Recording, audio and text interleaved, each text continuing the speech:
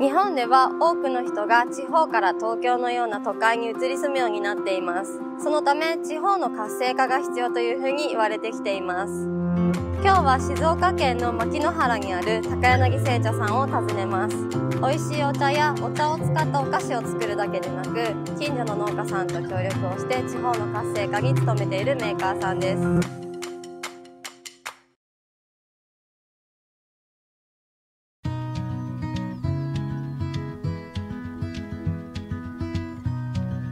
高柳製茶の代表取締役高柳博信と申します。よろしくお願いします。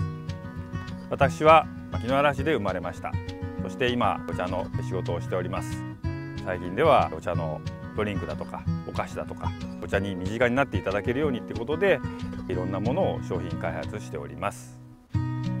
牧之原は標高180メートルほどある土地です。非常に平らな土地でここには茶畑が一面に広がっています。あのやはり平らということで機械で摘むには非常に適したところではあります。日が非常にたくさん当たります。強く大きく育ちますので美味しいお茶が取れると思います。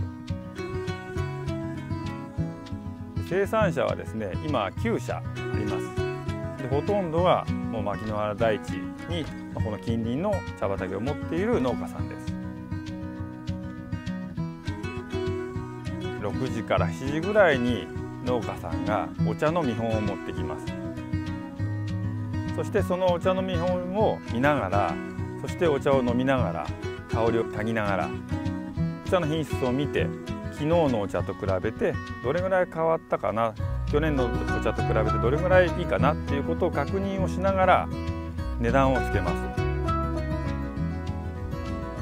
昨日今日に始まった取引ではなくて本当にもう50年60年付き合っている生産者さんからお茶を仕入れていますなので作る側も買っていただけるっていう安心の中に作って持ってきてくれますし逆に僕らもそれを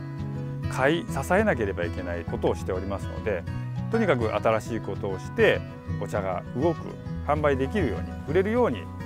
日々努力をしております。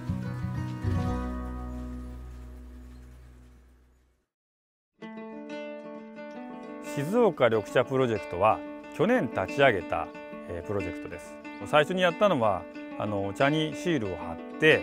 えその貼ったシールの代金を医療従事者だとかあとは被害があったところに寄付をするということをスタートしました。5月1日に本当にここから1キロもしないところで竜巻がありました。それによって工場だとか茶畑だとかに非常に被害が起きました。そして静岡茶プロジェクトで集めた義援金を牧之原市に寄付することができました。非常に身になって寄付することができましたのでお茶の組合の皆様には非常に感謝しております。